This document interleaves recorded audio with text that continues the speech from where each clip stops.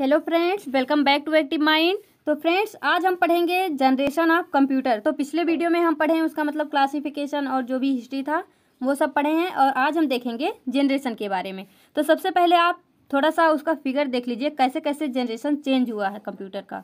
तो सबसे पहले ये आया हमारा फ़र्स्ट जनरेशन तो फ्रेंड्स देखिए यहाँ पे जो कंप्यूटर होते थे, उसमें जो है पूरा रूम जो भी इतना बड़ा सा बरामदा होता था, सारा भर जाता था. इतना बड़ा सा एक कंप्यूटर होता था. ये मत सोचना आप ये अलग अलग कंप्यूटर, वो सारा एक कंप्यूटर होता था, ऐसे पूरा रूम भर जाता था, इतना बड़ा। उसके बाद ये, इसकी साइज़ जो है थोड़ी छोटी हुई। यानी एक किचन, मान लो कि किचन जैसा एक कंप्यूटर हो गया। उसके बाद आता है हमारा थर्ड जनरेशन थर्ड जनरेशन इसमें क्या हुआ फ्रेंड्स सबसे पहले मॉनिटर और कीबोर्ड यूज़ हुआ। उसके बाद आता है फोर्थ इसकी साइज़ जो है, इसकी अपेक्षा थोड़ी सी रिड्यूज हुई। मतलब इससे थोड़ा और भी अच्छा इसमें सिस्टम आया। उसके बाद ये हमारा फिफ्थ जनरेशन ये दोनों पैरेलली चल रहे हैं, यानी ये भी अभी यूज़ होता है, ये भी यूज़ होता है। तो अब हम देख लेते हैं इन सब के बारे में डिटेल से। तो देखिए फ्रेंड्स हमारा जनरेशन ऑफ़ कंप्यूटर जो है, सबसे पहले देखते हैं फ़र्स्ट जनरेशन ऑफ़ कंप्यूटर जो कि 1942 से 1955 तक चला था। तो यहाँ पे देखिए, सबसे पहले कम कंपोनेंट यूज्ड इसमें यूज़ क्या किया जाता था? वैक्यूम ट्यूब वैक्यूम ट्यूब इसमें यूज़ किया जाता था। और इसमें जो है वेरी लार्ज मशीन ये बहुत बड़ा मशीन होता था, जिससे पूरा रूम भर जाता था। मतलब वहाँ पे फिर बहुत ही बड़ी होती थी ये। और इसकी मेमोरी साइज़ कितनी थी? मात्र टू के भी थी। अब सोच लो आप। यहाँ पे देखिए friends no monitor were output was release in print out यानी यहाँ पे जो है कोई भी मॉनिटर नहीं होता था कि हमको जो है आउटपुट मॉनिटर पे दिख सके। वहाँ पे जो भी है कंप्यूटर में, उसका प्रिंट आउट लेंगे, उसके बाद ही आपको दिखेगा कि उसमें क्या था। अब जैसे मैं आपको यहाँ पे पढ़ा रही हूँ तो आपके मोबाइल स्क्रीन पे वो दिख रहा होगा सारा। लेकिन अगर फ़र्स्ट जनरेशन का कंप्यूटर होता तो मैं तो बोल दी, सारा कुछ पढ़ा दी, लेकिन आपको कुछ भी नहीं दिखता। आप उसको प्रिंट आउट निकालते फिर आपको ये सारा दिखता। तो यहाँ पे देखिए, input was based on punch card, यानी इनपुट जो है हम पंच कार्ड के द्वारा देते थे। और लैंग्वेज यहाँ पे वही मशीन लैंग्वेज यानी जिसको हम बाइनरी नंबर बोलते हैं ज़ीरो एंड वन यही यहाँ पे यूज़ होता था। यहाँ पे एग्ज़ाम्पल देखिए इसका क्या क्या है। एग्ज़ाम्पल है इसका it sac I B M six six fifty I B M seven zero one और ये देखिए फ्रेंड्स इनी इनियक इडवैक यूनिवैक ये मतलब आपसे ऐसे या या तो इसका फुल फॉर्म पूछेगा। कि यूनी यूनियक का फुल फॉर्म क्या है? ईडवैक का फुल फॉर्म क्या है? यूनिवैक का फुल फॉर्म क्या है? या तो आपसे पूछेगा इनियक किस किस जनरेशन में यूज़ हुआ है? कंप्यूटर के किस जनरेशन में इनियक का यूज़ हुआ है? तो आप ध्यान रखना इनियक इडवैक यूनिवैक ये तीनों जो है फ़र्स्ट जनरेशन में यूज़ हुए हैं। अब ये जो इनियक है, इसका फुल फॉर्म है electronic numerical integrator and computer तो कंप्यूटर तो देखो, सब में है computer computer computer automatic automatic यहाँ यहाँ है। लेकिन यहाँ ध्यान रखना आई मीन्स इंटीग्रेटर यहीं पे चेंज करेंगे, कुछ और लिख देंगे। ईडवैक में होता हमारा electronic discrete variable automatic computer यहाँ पे देखना, यहाँ तो एक एक मिनी एक एक लेटर्स का फुल फॉर्म है। लेकिन यूनिवैक में देखो यूनी वी तक केवल यूनिवर्सल है और ए से ऑटोमेटिक सी से कंप्यूटर तो ये आप इसका फुल फॉर्म याद कर लेना। यहाँ पे देखो डिसएडवांटेज यानी इसके जैसे क्या क्या हानि थी? मतलब क्या क्या यहाँ पे अच्छाइयाँ नहीं थी इसमें? तो वो था ह्यूज साइज़ इसका बहुत बड़ा साइज़ जो है, ये सही नहीं था. प्रोड्यूस लॉर्ड्स ऑफ़ हीट यानी ये बहुत ज़्यादा गर्मी उत्पन्न करता था. मतलब जहाँ पे है, वहाँ बहुत बहुत, आप जैसे आप देख लो, आपके पास एक लैपटॉप है तो उसके साइड में देखना कितनी हीट निकलती है. सोचो मतलब एक छोटा सा लैपटॉप से इतनी हीट निकलती है, एकदम गर्म गर्म सा लगता है. अगर एक पूरा रूम ही ऐसे भरा हुआ तो कितनी गर्मी निकलेगी? और फिर जब गर्मी निकलेगी तो उसके लिए एसी की ज़रूरत होगी। तो वहाँ पे कम से कम दस बीस एसी लगाओ, फिर जाके वो सही रहेगा। और इसकी स्पीड जो थी वेरी लो मतलब बहुत ही स्लो थी स्पीड। और नॉन पोर्टेबल यानी इसको कहीं भी लेके नहीं जाया जा सकता, जहाँ है वहीं पे फिक्स रहेगा।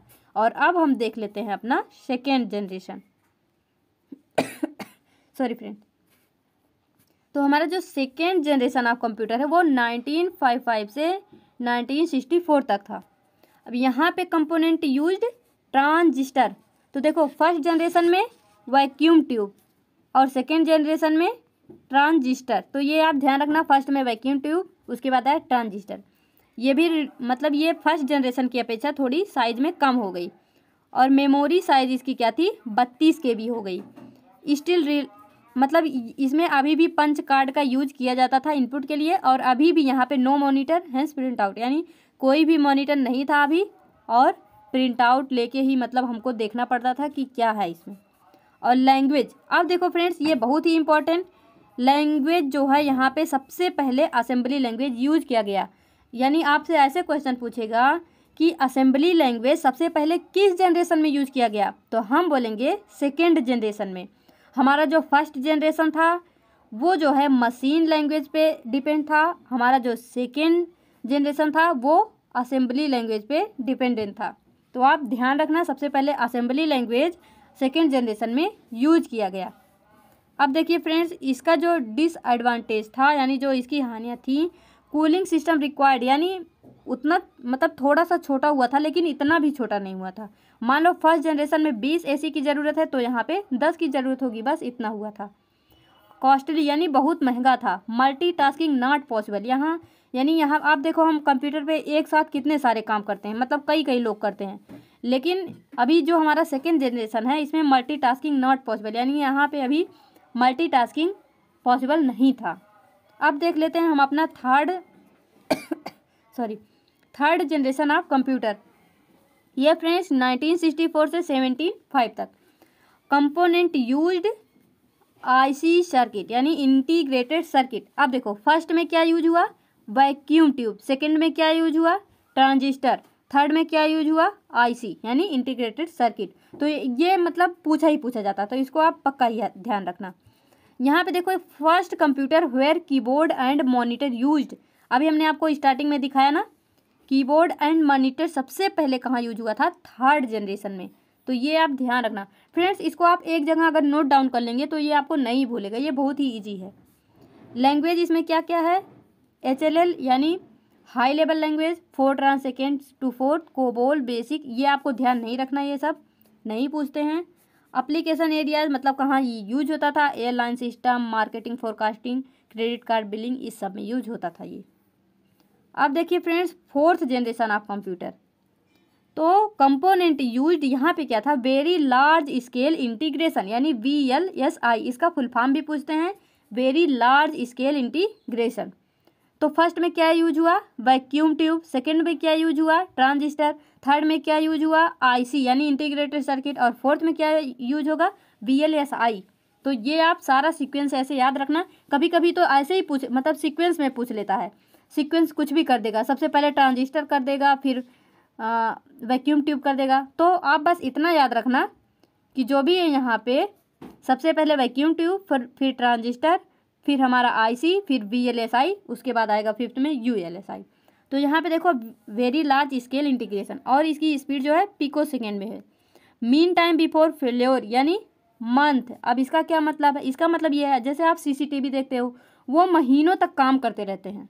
मतलब वो ख़राब नहीं होते, ऐसे महीनों तक चलते रहते हैं। तो वही है कि मतलब mean time before failure month यानी फोर्थ जनरेशन हम अभी भी यूज़ करते हैं, ये तो आपको पता ही है। और इसमें input output V D U O C R M I C R voice recognition laser printer इन सब का हम फुल फॉर्म बाद में एक जगह बता देंगे, आप उसको याद कर लेना। यहाँ पे देखो concept of internet was introduced ये भी एक क्वेश्चन है कि सबसे पहले इंटरनेट का कॉन्सेप्ट किस जनरेशन में दिया गया तो आप बोलेंगे फोर्थ जनरेशन में। आप ऐसे भी ध्यान रखने रख लेना। हम लोग अभी मतलब फोर्थ जनरेशन में ज़्यादातर यूज़ करते हैं कंप्यूटर को। तो इंटरनेट हम लोग यूज़ ही करते हैं। अभी हम मोबाइल से लेक्चर देख रहे हैं तो क्या कर रहे हैं? इंटरनेट का यूज़ कर रहे हैं ना? तो इसको आप ऐसे याद रख लेना कि फोर्थ जनरेशन में यूज़ हुआ था। और जो हमारा फिफ्थ जनरेशन है, वो उस पर अभी भी वर्क हो रहा है। अब ये क्या होता है? देख लेते हैं। यहाँ पे देखो friends, fifth generation of computer, इसको हम फ्यूचर जनरेशन भी बोलते हैं। ये 1991 से ऑनवर्ड यानी ये अभी भी चल रहा है। अभी ये चल रहा है। Sorry friends under development stage, यानी ये अभी भी विकासशील है।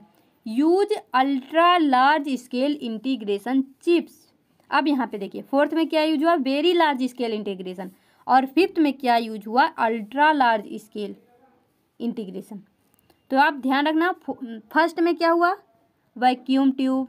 सेकेंड में क्या हुआ? ट्रांजिस्टर। थर्ड में क्या हुआ? आईसी। फोर्थ में क्या हुआ? B L S I. Fifth में क्या हुआ? U L S I. तो ये आप ध्यान रखना। यहाँ पे देखो फ्रेंड्स आर्टिफिशियल इंटेलिजेंस का यूज़ हुआ। अब आर्टिफिशियल इंटेलिजेंस क्या है? एक मूवी आया था रोबोट करके। उसमें एक था चिट्टी। उसको मतलब बनाया था उन्होंने। एकदम आर्टिफिशियल इंटेलिजेंस मतलब उसमें think and behave like human मतलब वो एकदम मनुष्य जैसा व्यवहार करे, ऐसा बनाओ उसको। यानी इसका उद्देश्य क्या था? Making intelligence machine and making computer think like sorry making computer think like human, यानी वो मनुष्यों की जैसा सोच सके। देखिए फ्रेंड्स,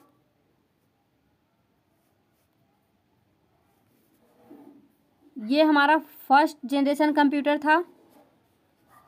ऐसे पूरा रूम उसमें मतलब पूरा भर जाता था। ये पूरा एक है, देखो, जैसे लग रहा कई कई हैं, लेकिन ये पूरा एक है।